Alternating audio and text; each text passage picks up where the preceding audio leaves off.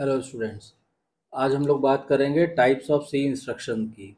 देखिए, अभी जैसे पिछले वीडियो लेक्चर में हम लोगों ने एक सी का प्रोग्राम बना लिया था तो एक बेसिक हमने आपको फॉर्मेट बना दिया है तो आप छोटे छोटे प्रोग्राम बना के आप प्रैक्टिस करते रहिए। और फिर डेली बेसिस पे जो जो नई चीज़ें सीखिए, उसको उसी प्रोग्राम में। तो देखिए, किसी प्रोग्रामिंग लैंग्वेज को सीखने का जो सबसे अच्छा तरीका होता है, पहले आज का टॉपिक हम लिख देते हैं सी इंस्ट्रक्शंस ठीक, चलिए। मैं ये कह रहा था किसी प्रोग्रामिंग लैंग्वेज को सीखने का जो बेस्ट तरीका होता, क्या होता है कि आप जैसे आपने एक छोटा प्रोग्राम बनाया, सीखा, जैसे अभी तक आप लोगों ने पढ़ा हुआ है, या जैसे हमने पिछले वीडियो लेक्चर में आपको बेसिक सैलरी दी हुई है, और उसका डी अलाउंस और हाउस रेंट अलाउंस कैलकुलेट करके ग्रॉस सैलरी कितनी आएगी, इसको निकालने का प्रोग्राम बताया था। अब उसमें क्या कीजिए कि अब आगे ऑनवर्ड्स आप जो भी चीज़ें नई पढ़ते जाएँगे, आप वो मॉडिफिकेशन उसी प्रोग्राम में करते चलिए। तो आपको सीखने में और समझने में आसानी रहेगी। अगर आप नया प्रोग्राम भी बना के चलते हैं तो भी कोई दिक्कत नहीं है। लेकिन एक अच्छा और इजी प्रैक्टिस है कि एक छोटा सी प्रोग्राम बनाइए, फिर जो नई नई चीज़ें सीखिए, वो उसी के अंदर इंक्लूड करते जाइए और प्रोग्राम कंपाइल कीजिए रन कराइए, फिर प्रोग्राम कंपाइल कीजिए रन कराइए। तो उससे आपको पता चल जाएगा कि कहाँ पे एरर आ रही है। जो नई चीज़ हमने इंट्रोड्यूस की है, वहाँ पे एरर है, उसको आप शॉर्ट आउट कर लेंगे। फिर जब आप मास्टर हो जाएँगे इसको करके तो फिर आप अपना बड़े बड़े प्रोग्राम बनाने शुरू कर दीजिएगा। It's all up to you now we today we start with types of instruction तो देखिए सी में सी लैंग्वेज में क्या होता है कि अगर हम प्रोग्राम की बात करें तो हमें मालूम है कि कोई भी प्रोग्राम जो है प्रोग्राम क्या होता है? प्रोग्राम सिंपली कुछ नहीं program is a set of instruction different तरह के जो इंस्ट्रक्शंस हम लिखते हैं, उन्हीं के सेट को हम क्या बोलते हैं? प्रोग्राम बोलते हैं।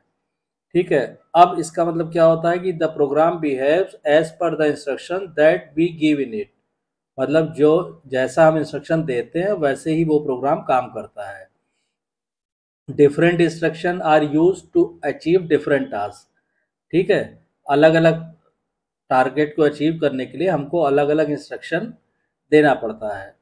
तो अगर हम पहले इसमें बात करें कि सी के अंदर इंस्ट्रक्शन जो होती हैं, वो अगर हम बात करें टाइप्स ऑफ़ इंस्ट्रक्शन की, कि सी लैंग्वेज में कितने टाइप की इंस्ट्रक्शन यूज़ होती है तो इसको अगर हम ब्रॉडली क्लासीफाई करें तो इसको हम तीन कैटेगरीज में डिवाइड कर सकते हैं। मान लीजिए एक, दो और ये हो गया तीन। एक तो होता है type declaration instruction type declaration instruction ठीक है? सेकंड जो होता है सेकंड होता है इसको आप सेकंड हम्म, होता है वो होता है अर्थमेटिक इंस्ट्रक्शन अर्थमेटिक इंस्ट्रक्शन और जो थर्ड टाइप होता है वो होता है control instruction third type is control instruction तो अब देखिए टाइप डिक्लेरेशन इंस्ट्रक्शंस में क्या होता है कि ये जो भी वेरिएबल हम अपने प्रोग्राम में यूज़ कर रहे हैं, उसके टाइप को बताता है। मतलब क्या हुआ कि this instruction is use to declare the type of variable use in a C program जो हम वेरिएबल अपने यूज़ कर रहे हैं, जैसे हमने अपने पिछले वाले प्रोग्राम में क्या, जैसे बेसिक सैलरी हमने ली थी तो बी एस वेरिएबल लिया था उसको हमने क्या क्या डिक्लेयर किया था? इंटीजर ऐसे किया था ना? ऐसे ही हमने डी ए और एच आर ए कैलकुलेट कर रहे थे तो डी ए डी ए और एच आर ए ये जो वेरिएबल्स है और ग्रॉस सैलरी इन तीनों को हमने क्या डिक्लेयर किया था? फ्लोट मतलब फ्लोट तो जो भी वेरिएबल प्रोग्राम में यूज़ होने हैं, वो किस टाइप के हैं तो उसका टाइप हम यहाँ पे डिक्लेयर करते हैं तो इस तरह की इंस्ट्रक्शन को बोलते हैं टाइप डिक्लेरेशन इंस्ट्रक्शन ठीक?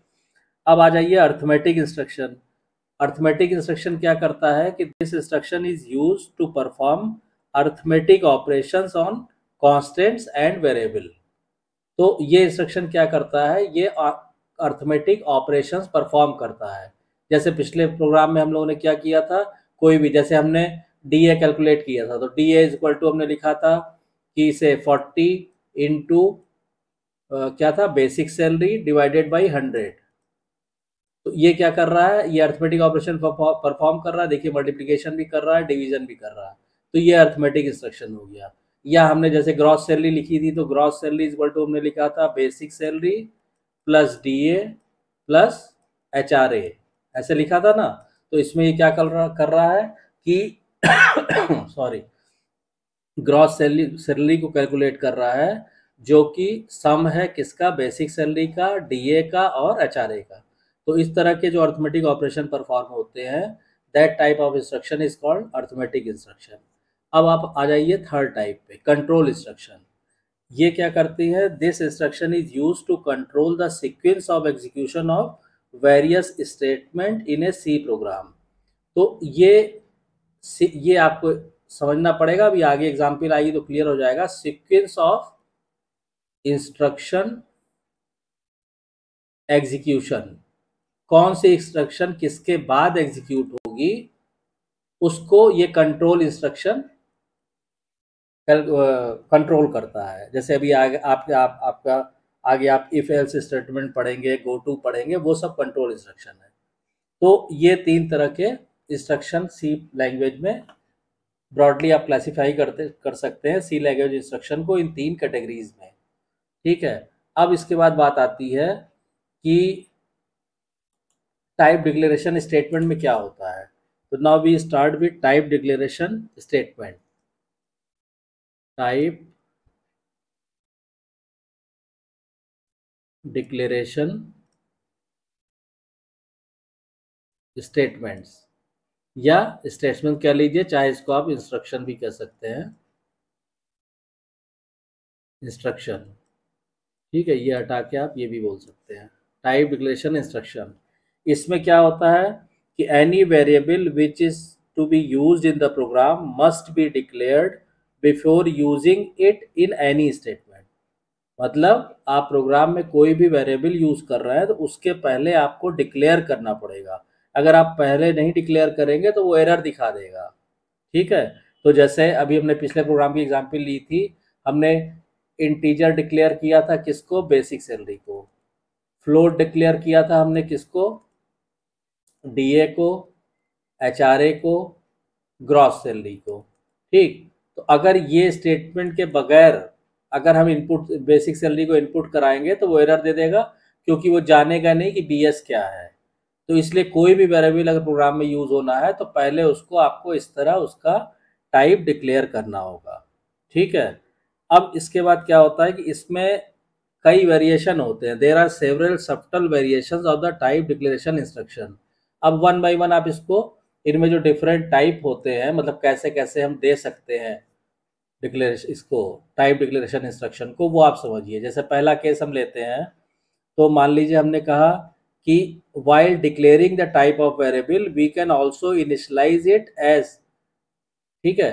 तो इसमें मतलब हमने कहा कि मान लीजिए हमने ये डिक्लेयर किया यहाँ पे तो हमने कहा इंटीजर बेसिक सैलरी हमने किया और इसी के साथ इसी के साथ जैसे हमने वहाँ कीबोर्ड किया था इनपुट से कीबोर्ड किया था चार हज़ार रुपये यहीं पे हमने इसको डिक्लेयर कर दिया कि फोर थाउज़ेंड ये, हम इस तरह ही डिक्लेयर कर सकते हैं। तो इसमें क्या होगा कि हमने ये भी डिक्लेयर कर दिया कि बी एस वेरिएबल जो है वो इंटीजर टाइप है और साथ ही साथ हमने उसको, साथ ही साथ हमने उसको वैल्यू भी असाइन कर दी कितनी? फोर थाउज़ेंड तो एक इस तरह से भी आप डिक्लेयर कर सकते हैं, ठीक? मतलब while declaring you you can also initialise the variable ठीक? अब सेकेंड टाइप आ जाइए। The order in which we define the variable is sometimes important sometimes not मतलब क्या हुआ कि जैसे अभी हम अपने ही प्रोग्राम को हम लेके चल रहे हैं, उसी को आप लेके एग्ज़ाम्पल समझते चलिए। जैसे हमने कहा कि हमने इंटीजर डिक्लेयर किया पहले बेसिक सैलरी उसके बाद हमने डिक्लेयर किया है क्या? D A H R A और ग्रॉस सैलरी ऐसे हमने डिक्लेयर किया था। तो पहले ये डिक्लेयर करेंगे, फिर ये डिक्लेयर करेंगे। या हम किसी को कभी भी डिक्लेयर कर सकते हैं। ये कभी कभी तो मैटर करता है और कभी कभी नहीं करता है। मतलब क्या हुआ इसका? मतलब ये हुआ कि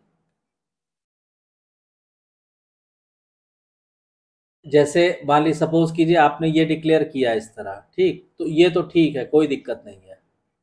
अब मान लीजिए आपने इसकी बजाय से, इसकी जगह मान लीजिए आपने पहले ये डिक्लेयर किया कि फ्लोट और आपने लिख दिया यहाँ पे से D A equal to zero point four into basic salary समझ रहे हैं आप?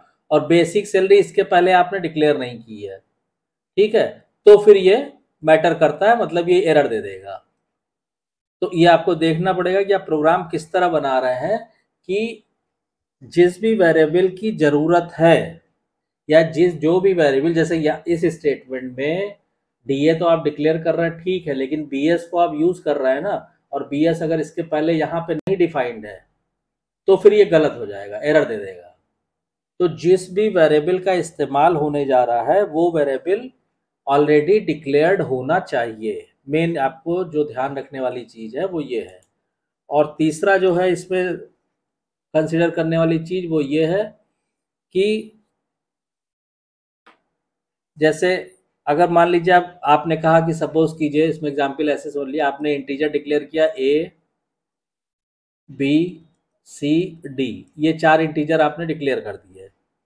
और उसके बाद आपने इनिशलाइज किया कि साहब A equal to B equal to C equal to D equal to ten वो इक्वल टू नहीं होता एक्चुअली सी में अभी आगे आप ऑपरेटर पढ़ेंगे। दिस इज़ कॉल्ड तो आदत पड़ी हुई है, इसलिए आदमी इक्वल टू बोलता है। This is assignment operator this is assignment operator ये क्या करता है? जब भी आप ऐसे डी इक्वल टू टेन आप लिखा तो टेन की वैल्यू इसमें डाल देगा। जैसे आपने लिखा जेड इक्वल टू फाइव तो ये इक्वल टू तो चूँकि हम लोग मैथमेटिक्स वाली हैबिट है, इसलिए बोलते हैं। अदरवाइज़ इसका मतलब ये हुआ कि इस फाइव को जेड में असाइन कर दो। तो this is called assignment operator अभी आगे ऑपरेटर पढ़ेंगे हम लोग तो दोबारा ये चीज़ आएगी, ठीक? तो ये आपने इस तरह का डिक्लेयर किया हुआ। पहले आपने चारों वेरिएबल डिक्लेयर कर दिए यहाँ पे, और तब आपने वैल्यू असाइन की। ये ठीक है। लेकिन अगर आपने क्या किया, आपने एक साथ ही कर दिया, आपने कहा integer A B C D ten ऐसे अगर आपने डिक्लेयर किया, ठीक है? तो इसमें क्या होगा कि ये गलत हो जाएगा। क्यों गलत हो जाएगा? इसलिए कि आपने ए को क्या असाइन किया है? बी जबकि बी की वैल्यू पता नहीं है। बी को क्या असाइन किया है? सी सी की वैल्यू पता नहीं है। सी को क्या असाइन किया है? डी डी की वैल्यू अभी पता नहीं है। ठीक? तो ये काम पहले हो जाएगा, उसके बाद ही ये काम आप कर सकते हैं। तो यही सब छोटी छोटी एरर आती है तो ये चीज़ें आप ध्यान रखिएगा। एरर आएगा तो उसको फिर से सिंटेक्स एरर आएगा, ठीक कर दीजिएगा। तो आपको कोई प्रॉब्लम नहीं आएगी सी प्रोग्रामिंग करने में, ठीक? तो आई होप कि ये ये इंस्ट्रक्शन टाइप ऑफ़ इंस्ट्रक्शन और ये क्लियर हो गया होगा। अब इसमें जो दो इंस्ट्रक्शन रह गए अर्थमेटिक इंस्ट्रक्शन और कंट्रोल इंस्ट्रक्शन उसको हम लोग नेक्स्ट लेक्चर में डिस्कस करेंगे। ये क्लियर हो गया होगा। अगर वीडियो कंटेंट पसंद आ रहा है तो प्लीज़ वीडियो को शेयर कीजिए लाइक कीजिए चैनल को सब्सक्राइब कीजिए और नोटिफिकेशन बेल को ऑन कर दीजिए ताकि नेक्स्ट वीडियो की इन्फॉर्मेशन आपको तुरंत मिल जाए। Thank you